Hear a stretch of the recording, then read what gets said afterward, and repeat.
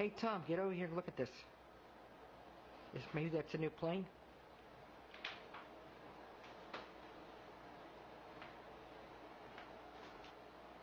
Huh. Is that one of those government drone things? looks like two planes in a triangle. That is weird. Trying to find it.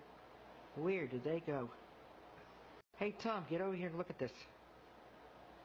Maybe that's a new plane?